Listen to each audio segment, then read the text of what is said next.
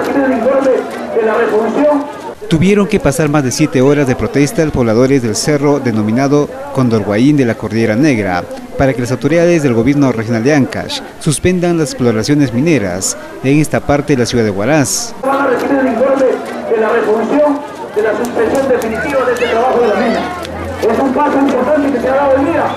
Yo entiendo, es un procedimiento, no se puede dar una resolución en de la mañana. Este grupo de pobladores desde muy temprano llegaron a las instalaciones de la sede del gobierno regional de Ancash para exigir la solución a sus demandas y cansados de ofrecimientos tomaron la decisión de no dejar salir a nadie por las dos puertas principales del gobierno regional. Lo, que pasa es que nosotros también hemos estado dentro de las instalaciones del gobierno regional para poder obtener el, el, documento correspondiente y las personas o la población ha estado a la espera de ese documento, no es que, que no hayan dejado salir. Informaron también que las autoridades han firmado un acta de compromiso para que en una semana hagan los trámites de la nulidad de la exploración minera en el cerro denominado Condorguaín.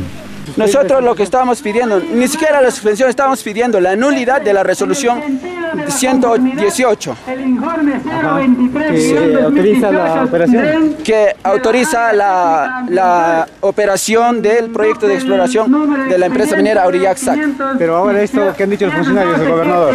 El gobernador se ha, se ha comprometido en solucionar el problema en los términos correspondientes. Es, es así. Si hay, ¿Hay un plazo? Si hay una, si hay una falta, sí, efectivamente hay un plazo de esta semana.